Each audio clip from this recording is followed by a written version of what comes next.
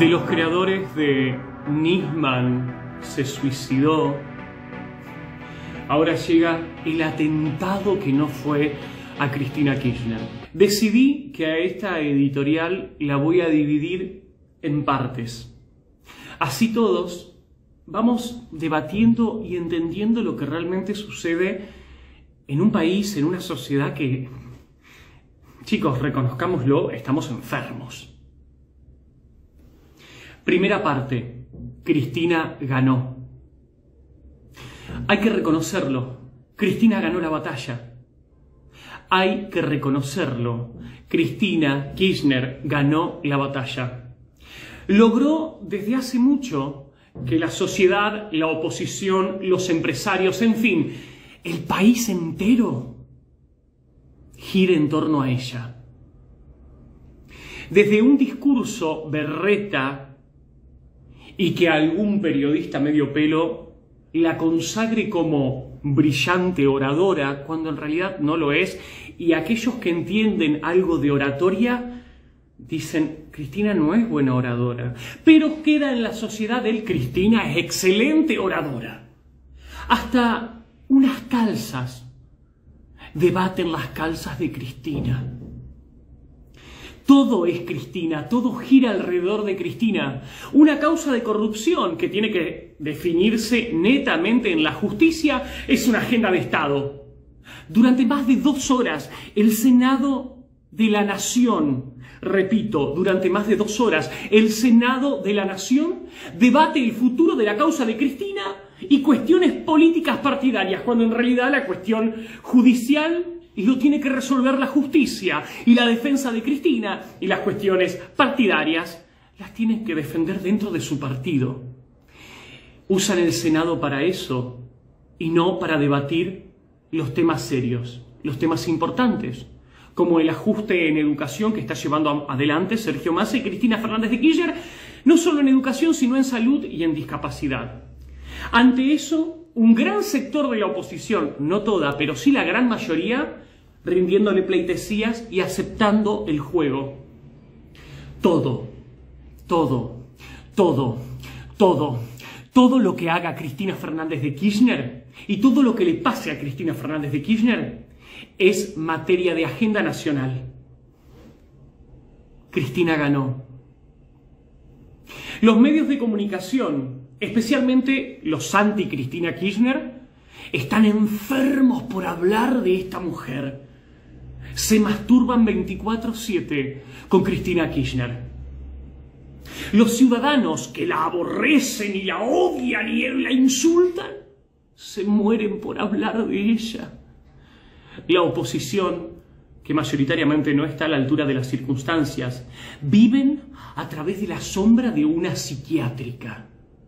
Necesitan a Cristina, porque sin Cristina no viven, porque la mayoría de los opositores no tienen propuestas más que el antikirchnerismo. Todo un país se mueve según cómo amanezca Cristina Fernández de Kirchner en su lujoso piso del barrio más concheto de la República Argentina, el barrio de Recoleta. Todo el mundo habla de Cristina Kirchner. Y esto no pasa porque Cristina es brillante. Por favor. Esto pasa porque la mayoría de la oposición es egoísta, es bruta, es mediocre y en el fondo son miserables. Y no importa si son más liberales, menos liberales, eh, republicanos, menos republicanos, humanistas, son mediocres. Son mediocres. Mayoritariamente la oposición argentina es mediocre, siempre lo fue. Por eso cuando son gobiernos, cuatro cabezas le tiran piedras y dan marcha atrás. La mayoría de la oposición argentina no tiene propuestas más que el antikirchnerismo. Por el otro lado, la sociedad argentina, mayoritariamente pusilánime, ignorante, y encima orgullosos de su ignorancia y soberbios un combo putrefacto para una sociedad putrefacta y para un país que no da más del dolor. Como conclusión podríamos decir que se masturban con lo que aborrecen. Segunda parte, el show debe continuar. Lo vengo diciendo desde hace varias semanas y un video que, que se viralizó, donde yo decía que estemos atentos porque el kirchnerismo va a hacer de todo con tal de crear el mártir en Cristina. El kirchnerismo está buscando un clima de violencia social con tintes setentistas. El kirchnerismo está buscando un clima de violencia social con tintes setentistas. Cristina y sus ramificaciones harán lo posible para no perder el poder que tienen. Del vamos por todo, ¿se acuerdan en Rosario? Vamos por todo a hagamos cualquiera con tal de del vamos por todo a hagamos cualquiera con tal de. Desde el Instituto Patria la directiva es clara. Necesitan épica, necesitan su 17 de octubre que no encuentran y como no lo encuentran, las causas avanzan. Y está el miedo de qué va a hacer el peronismo. ¿Se la quita a Cristina o la van a seguir sosteniendo. Hay un sector del peronismo que no quiere saber más nada, pero no la pueden soltar. Entonces, vamos por el mártir. Necesita el kirchnerismo, Cristina, victimización. Necesitan, repito, convertirla en mártir. Y tienen posibilidades. Ante una sociedad mayoritariamente mediocre que se comen cualquier gilada, cualquier gilada, Sumado a dirigentes opositores mezquinos y brutos, el kirchnerismo tiene todas las de ganar. En este momento, en este momento todo el mundo está hablando del atentado que no fue. Ya nadie habla del ajuste en educación que hizo Sergio Massa con el aval de Cristina, ya nadie está hablando del ajuste en discapacidad que hizo Sergio Massa con el aval de Cristina. Ya nadie está hablando del ajuste en salud que hizo Sergio Massa con el aval de Cristina. Un terrible ajuste llevado a cabo, perdón, un terrible ajuste llevado a cabo por Sergio Massa y Cristina Fernández de Kirchner. Me da tristeza no ver estudiantes movilizarse por el ajuste en educación. No veo trabajadores de salud saliendo a las calles. O son muy pocos. Solo veo discapacitados y sus familiares acampando en Casa Rosada. Solamente están los discapacitados y sus familiares y algunas ONG en Casa Rosada, pero en realidad nadie los ve. Nadie lo está viendo. Tercera parte, el atentado que necesitaba. Ustedes me van a disculpar, pero yo no creo en este supuesto atentado fallido. Les pido disculpas.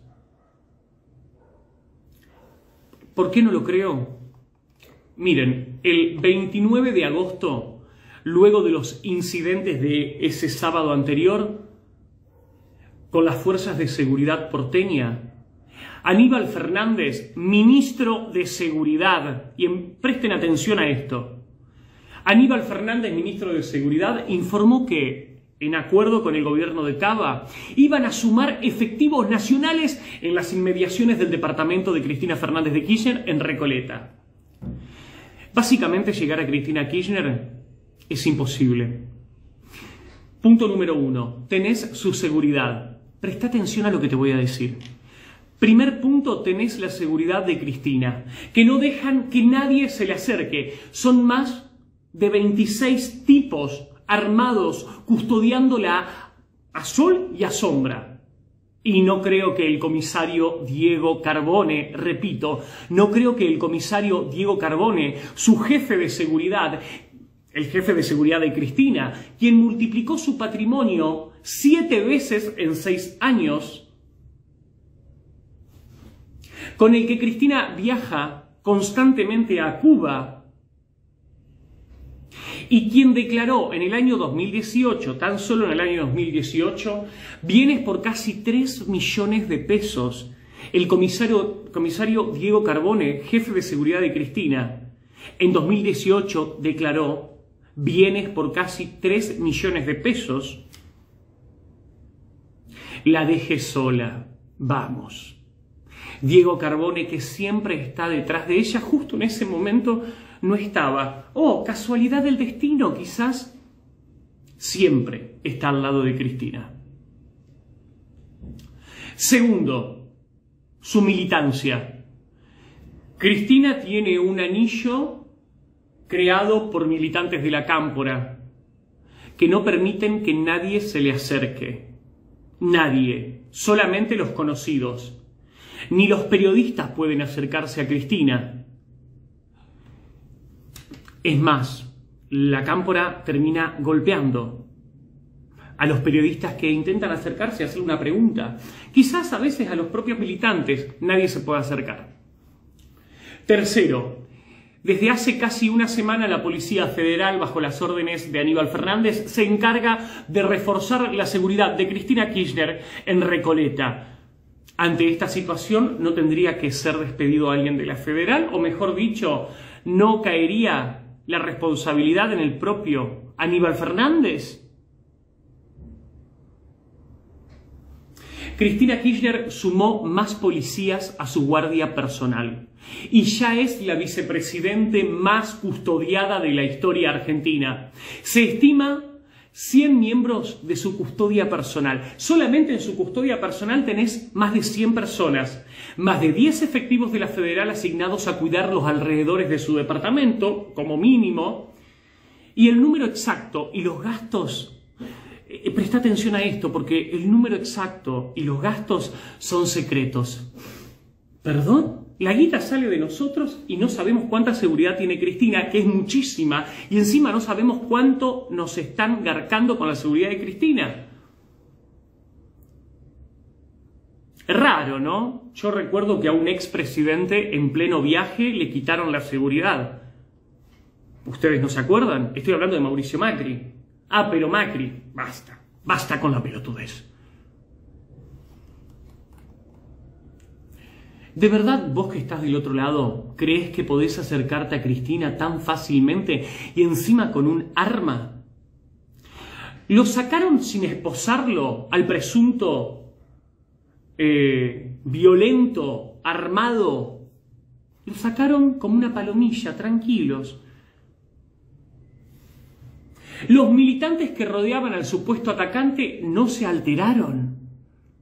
Por favor, se alteran con un periodista y patean periodistas. A Mercedes Ninzi la sacaron a patadas en el culo, pero a un tipo con un arma simplemente se lo dieron a la federal y la federal lo agarró y se lo llevó. En ningún momento hicieron un operativo antiatentado. Vamos chicos. Por otro lado, sin balas en recámara con una Versa vieja calibre 32. Raro, pero bueno, eso lo van a, a, desmenuzar aquellos que entiendan, pero Versa vieja calibre 32. Raro, raro todo. ¿Y saben qué? No sería la primera vez que el quillerismo quiera crear épica de algo que no fue. No sería la primera vez que el quillerismo quiera crear épica de algo que no fue. Y además, vender lástima. Lo hicieron con Maldonado, nos mintieron, nos engañaron, durante meses nos manipularon simplemente para ganar votos. Nadie lo había atacado a Santiago Maldonado. Luego las pericias demostraron que jamás Santiago Maldonado fue secuestrado, torturado. Nadie lo había ni siquiera rasguñado. El tipo no sabía nadar, se ahogó. Fin. Los propios peritos de la familia Maldonado desmintieron al propio, en ese momento oposición, actualmente gobierno, en fin, desmintieron al kirchnerismo. Nos intentaron manipular con lo de Nisman. Las operaciones luego de encontrar el cuerpo del fiscal. Es más, hasta estando el fiscal tibio, salieron a empapelear todo el país con fotos privadas del fiscal. Y el kirchnerismo, la militancia, valga la redundancia, militaban un suicidio que no fue. Yo les pido disculpas, pero no les creo. no les voy a creer un carajo. Y les recomiendo a ustedes que están del otro lado que lean el libro Código Estiuso. Lean el libro Código Estiuso del gran periodista Tato Young. Eh, ahí habla de la CIDE y la política desde las cloacas. Cómo muchas operaciones son armadas desde los subsuelos del servicio. Ahí van a entender cómo funcionan las oscuridades del poder, en especial la AFI. Y yo no estoy. A ver, quiero que se entienda esto, no estoy planteando una conspiración berreta, terraplanista, de reptiloides, simplemente estoy diciendo necesitan un puto 17 de octubre y no lo encuentran. Fin. ¿Ok? Estoy hablando de ojo con comerse las curvas. Escucho serios periodistas hablando de hay que traer paz a la sociedad. Usuarios en redes sociales diciendo hay que bajar el tono, toda muerte es injusta. Perdón, ¿de qué carajo están hablando? Porque me saco, porque no puedo entender de que un actinal mal armado los, los, desenfoque de lo importante. Están pidiendo otro préstamo al Fondo Monetario Internacional con el aval de Cristina y de Sergio Massa y la firma de Alberto Fernández y nadie dice nada. Están ajustando en educación, en salud y en discapacidad y nadie está diciendo nada. Y ahora lo único importante es un atentado que no fue y encima que se nota que está mal armado. Como diría un, un muchacho de televisión, son malos actores, sí se les nota.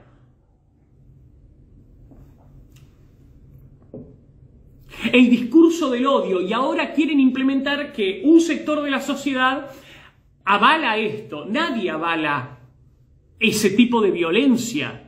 Ahora bien, son ustedes los políticos los que están jugando con un cable muy fino que es la psiquis de la gente. ¿Cómo puede responder una persona? Y no estoy hablando de este caso. Hablemos de los scratches, por ejemplo. ¿Qué tanto quilombo hicieron con los scratches? Perdón, ustedes le ajustan a los jubilados, ustedes se cagan en los discapacitados, ustedes se cagan en los estudiantes y encima se ofenden cuando una jubilada los manda a la mierda. O cuando un estudiante agarra un ladrillo y se los parte por la cabeza. Ah, mira qué bien. No, pero el consenso y los diálogos en una república, en una democracia, son ustedes los que no creen en democracia ni en república. Y quieren hacer que los demás se comporten como ustedes no se comportan. Es Cristina la que se burla de los jubilados, cobrando millones de jubilación y de sueldos de expresidente. Son ustedes los funcionarios y los diputados que chupan tetas en plena cámara mientras los estudiantes no tienen para cargar la sube. Son ustedes los que se cagan de risa de aquellos que tienen una pyme y se están muriendo de hambre. Y ustedes hablan de discurso de violencia, pero ¿de qué carajo están hablando? Y un sector de la sociedad compra la lástima. Es algo que a mí realmente mis huevos me aplauden. Ustedes generan la violencia, ustedes generan el odio y ella, la abeja reina de todo este entramado demoníaco, no nos deja ser felices. No deja ser felices a los vecinos de Recoleta con todos los cabezas ahí, al cual o a una vecina casi le prenden fuego el balcón con las bengalas. Se olvidaron muy rápido de Cromañón, parece. ¿eh? Ahí ya el discurso Cromañón no sirve. Se olvidan que no están dejando vivir a los trabajadores cada dos por tres con los cortes en las calles. Y después se quejan cuando un argentino hace un chiste sobre esto. tendría que haber gatillado en serio. Ah, discurso de violencia. ¿Cómo le querés explicar a una jubilada que gana 35 mil pesos? Explícale todo este circo mientras a ella no le solucionan los problemas mientras el PAMI no atienda a jubilados que se están muriendo, pudriéndose en una cama de un hospital público que no tiene ni gasas, ni vendas, ni un carajo. Ustedes hablan en serio de violencia, ustedes no tienen cara. Ustedes no tienen idea lo que es la violencia social, porque en, en este contexto tienen que agradecer que la sociedad argentina es mansa, pelotuda e ignorante, porque en otros países no jugarían con la psiquis del pueblo como juegan acá. Prosigo. Pasemos al último capítulo. Cuarta parte. El peor atentado a la República fue Cristina Kirchner. Luego de la puesta en escena, el empleado número 2, el primero es Parrilli, el segundo es Alberto Fernández, el empleado número 2 de Cristina Kirchner salió por cadena nacional, Alberto Fernández, anunciando un feriado nacional para concientizar al pueblo y para que el pueblo piense sobre la violencia que está ocurriendo. Lo dice el tipo que junto a su escort, Fabiola Yáñez, y háganme otra causa, me las paso por el quinto forro del ojete, hicieron una fiesta mientras Larita se moría en el piso de un hospital, mientras Solange no pudo abrazar a su padre, mientras se moría y el cáncer la comía. Ahí no les importó un carajo, pero ahora vienen a hablar de concientizar al pueblo mientras tomaban champán y bailaban sobre los muertos. Ah, pero qué gracioso el presidente. Ahora tenemos un feriado, hoy, viernes, feriado nacional. Y además el presidente Alberto Fernández a toda la militancia a que marchen por las calles en apoyo a Cristina. Ah, qué casualidad. Qué casualidad. Mientras tanto, los trabajadores sin trabajo encerrados en sus casas, los jubilados cagándose de hambre, los estudiantes sin poder estudiar y los discapacitados sin tener atención médica.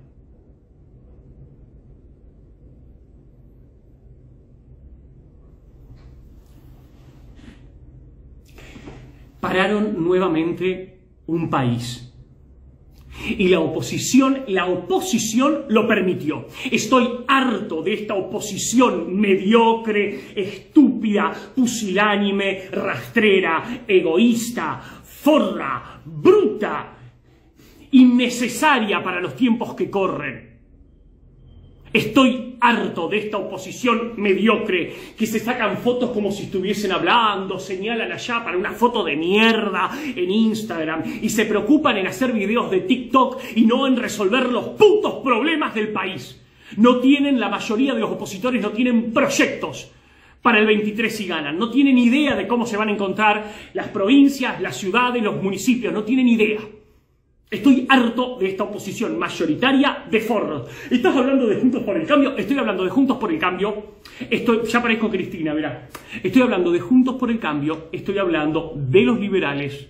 Estoy hablando de los republicanos, de los demócratas. Estoy hablando de todos.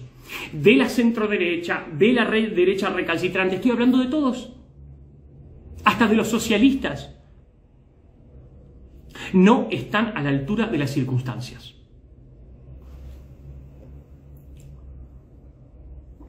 Pero como digo, no son todos, es la mayoría. Fueron muy pocos quienes levantaron la voz ante este show patético, mediocre, del cual todos los medios ahora se están masturbando. La doctora, y los voy a nombrar a aquellos que salieron con los tapones de punta, porque un político opositor que se pare en contra de un show de Cristina, a mí me parece loable y los voy a apoyar. La doctora Florencia Arieto, y me pongo de pie, que conoce de seguridad y de operativos de seguridad, y si hay alguien que luchó en contra de la mafia de las barras y de tipos armados, es Florencia Arieto. Todo mi respeto a la doctora Florencia Arieto. Florencia Arieto salió a tuitear, operación de bandera falsa. Todo dicho, dando a entender de que obviamente esto es un circo. La diputada por Santa Fe de Santa Fe, Amalia Granata, fue al hueso. Ella, por Cristina, logró quedar como mártir y que la oposición le rinda homenaje y le regale la reelección y los fueros. Tal cual. El senador por Córdoba, Luis Juez, fue tajante. Otra vez la oposición se mueve al compás de Cristina, mientras los ajustes siguen, sobre todo en discapacidad. Hubo algunos opositores más, como José Luis Espert, que también salió en contra de este show patético, pero fueron pocos. Y la mayoría le rindió pleitesías a la faraona y a su show mediocre. Quinto y último, feriado por una bala que no fue.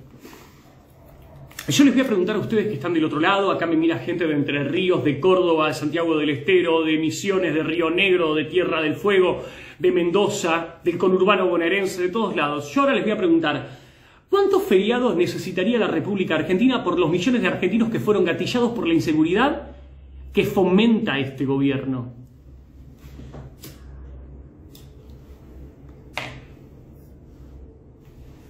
¿Cuántos que no tienen justicia? ¿A cuántos de los que, están del otro lado les ingresó una bala y nadie dijo nada? Hace unas horas balearon a un niño en Lomas de Zamora saliendo del colegio. Le metieron un balazo. Ese niño no va a tener un feriado. ¿A cuántos de los que están del otro lado hoy les falta un familiar y tienen una silla vacía en la mesa por la inseguridad? Ahí no tuvieron feriados. Ahí nadie se acordó de la paz social, de los derechos de los otros. ¿Qué pueden decir los rosarinos, ya que el presidente hace un feriado por una bala que no salió de un acting mal armado? ¿Qué tienen que hacer los rosarinos? Tomarse un año sabático, ¿no? Porque durante todas las semanas matan tres o cuatro. El narcotráfico, con complicidad de un sector de la policía y de un sector de la casta política rosarina y santafesina. Repito, los rosarinos se tendrían que tomar un año sabático, ¿no? Porque los matan como perros en todos lados.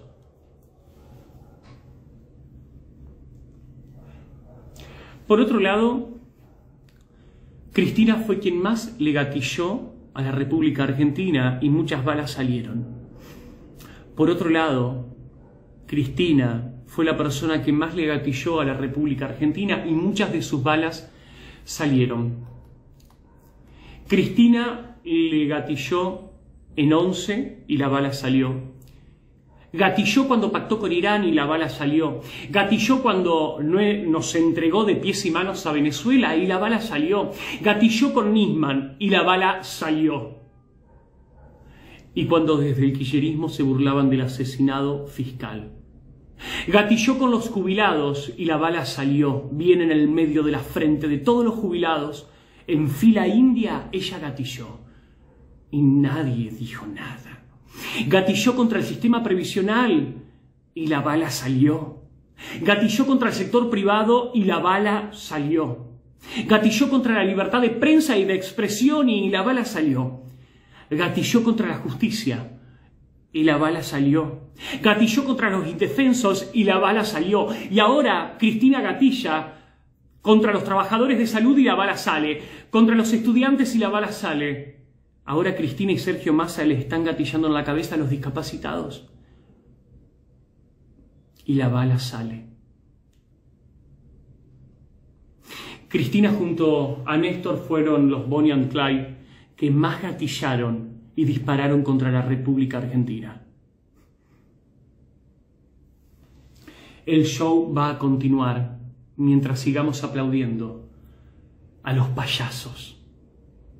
Cuando dejemos de ver a los monstruos, los monstruos se mueren. Apaguemos a aquellos que 24/7 le están dando prensa a esta psicópata enferma y a todo su séquito de trastornados. No podemos seguir así. Y tampoco podemos seguir con una oposición tibia y mediocre.